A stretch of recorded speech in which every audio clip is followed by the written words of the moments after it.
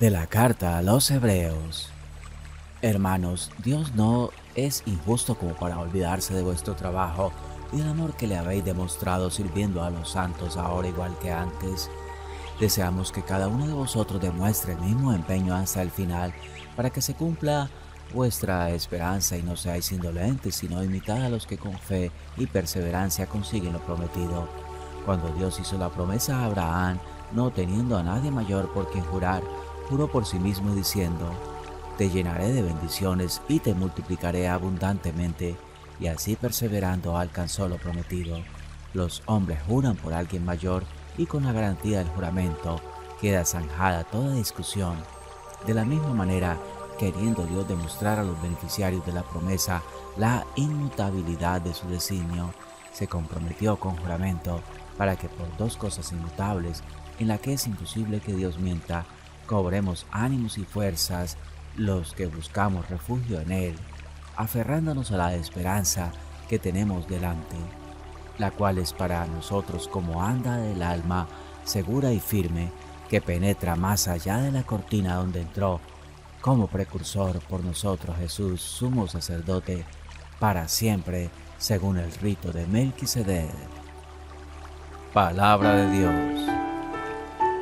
El Señor recuerda siempre su alianza. Doy gracias al Señor de todo corazón en compañía de los rectos en la asamblea. Grandes son las obras del Señor, dignas de estudio para los que las aman. El Señor recuerda siempre su alianza ha hecho maravillas memorables, el Señor es piadoso y clemente, Él da alimento a los que lo temen, recordando siempre su alianza. El Señor recuerda siempre su alianza. Envió la redención a su pueblo, ratificó para siempre su alianza, su nombre es sagrado y temible, la alabanza del Señor dura por siempre. El Señor recuerda siempre su alianza. Del Santo Evangelio según San Marcos. Sucedió que un sábado Jesús atravesaba un sembrado y sus discípulos mientras caminaban iban arrancando espigas. Los fariseos le preguntan, mira, ¿por qué hacen en sábado lo que no está permitido?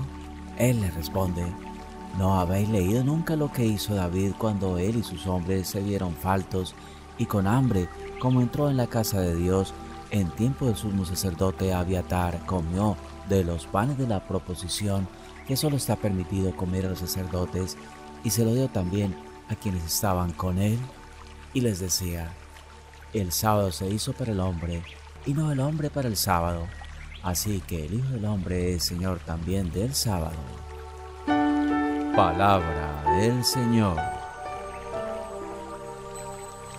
Jesús se manifiesta con una libertad total frente a cualquier medida humana, incluso religiosa, esta libertad coincide con su amor que se manifiesta en la predilección por los más pequeños, en mirar más allá de las apariencias, en el reconocimiento del primado de la persona humana afirmado en la creación y nunca desmentido a lo largo de toda la Biblia.